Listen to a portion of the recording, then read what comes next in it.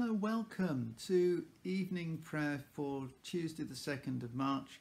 Today we remember Chad of Lichfield. He was uh, he's described as a missionary, which is pretty much on the nail, uh, having come down from the Kingdom of Northumbria, basically the northeast of England, uh, and bits of Scotland as well were included in it. But at that time, he comes down uh, at the point at which the Midlands, Mercia, as it was known, is turning towards Christ, and he has a short but very crucial role in making that happen by structuring the church for mission.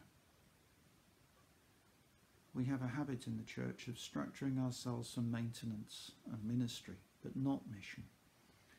And Chad's ministry was all about creating an outward facing church to go out into the community and bring people to Christ.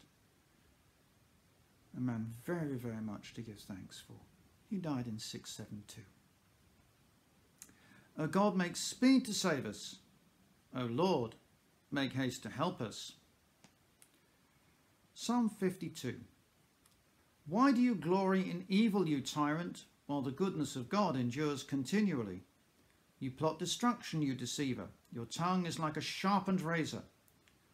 You love evil rather than good, falsehood rather than the word of truth. You love all words that hurt, O, deceit, o you deceitful tongue. Therefore, God shall utterly bring you down. He shall take you and pluck you out of your tent and root you out of the land of the living. The righteous shall see this and tremble. They shall laugh you to scorn and say, this is the one who did not take God for a refuge, but trusted in great riches and relied on wickedness. But I am like a spreading olive tree in the house of God. I trust in the goodness of God for ever and ever. I will always give thanks to you for what you have done. I will hope in your name, for your faithful ones delight in it. Psalm 53 The fool has said in his heart, There is no God. Corrupt are they and abominable in their wickedness. There is no one that does good. God has looked down from heaven upon the children of earth to see if there's anyone who is wise and seeks after God. They have all gone out of the way. All alike have become corrupt. There is no one that does good, no, not one. They have no knowledge, those evildoers, who eat up my people as if they are bread and do not call upon God. There shall they be in great fear, such fear as never was, for God will scatter the bones of the ungodly.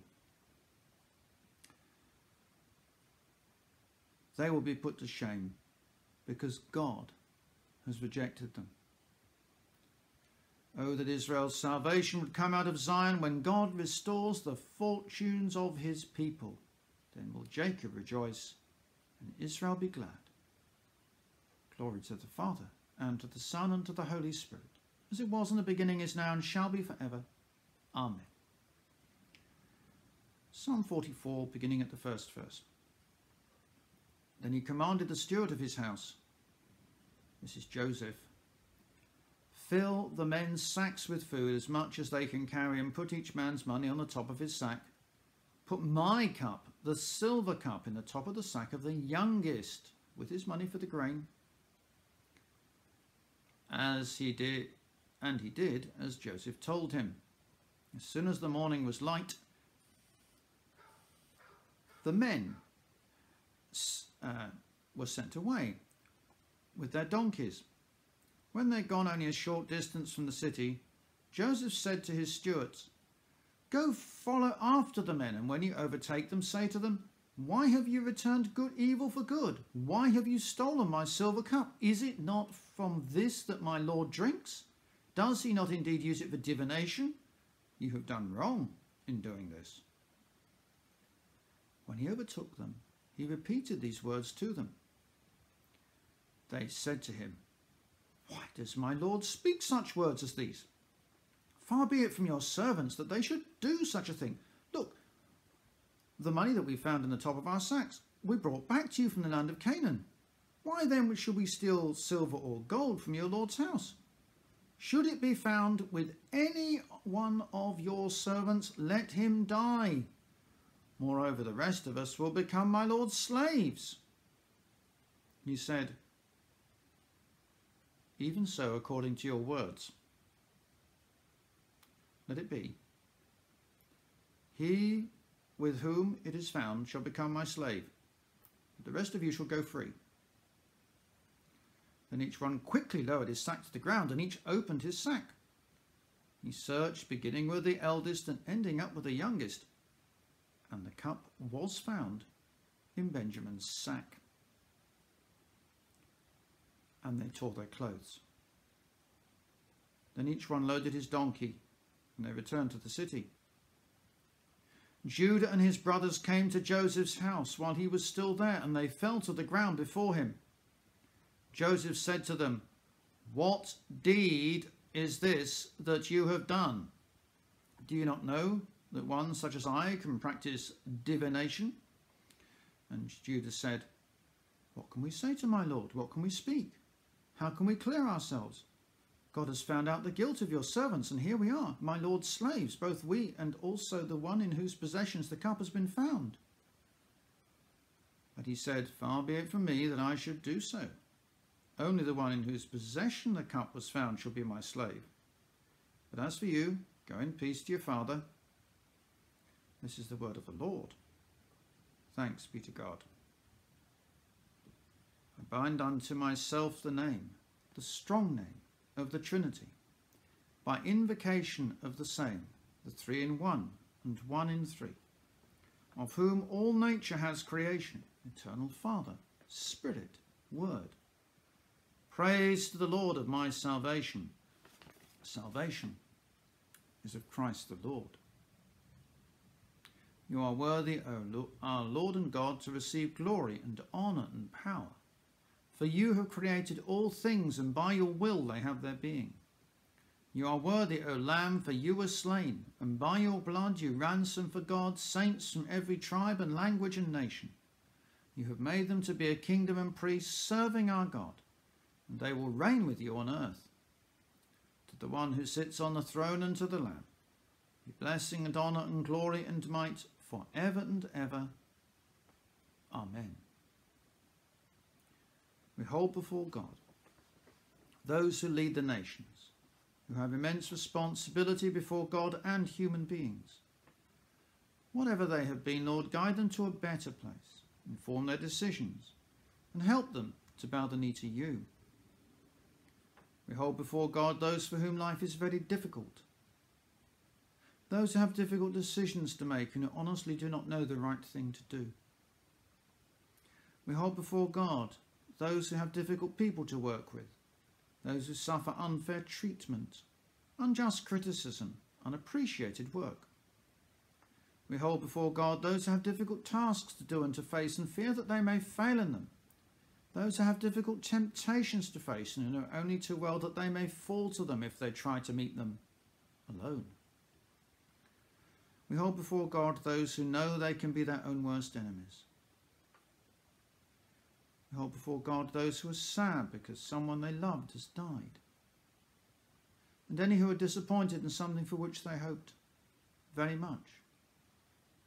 We hold before God those people who are impatient with the coronavirus restrictions and who may be in danger of infecting themselves or others. We hold before God those in deep trouble this day because of the lawlessness that is in parts of Nigeria and Niger. We live before the Lord.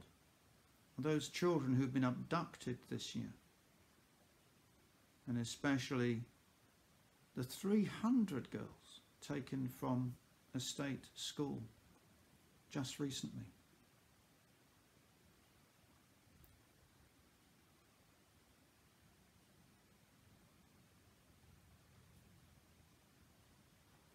Collect for today. Almighty God, from the first fruits of the English nation who turned to Christ. You called your servant Chad to be an evangelist and bishop of his own people. Give us grace so to follow his peaceable nature, humble spirit, and prayerful life, that we may truly commend to others the faith which we ourselves profess. Through Jesus Christ, your Son, our Lord, who is alive and reigns with you in the unity of the Holy Spirit, one God, now and forever. Amen. Trusting in the compassion of God as our Saviour taught us, so we pray. Our Father in heaven, hallowed be your name.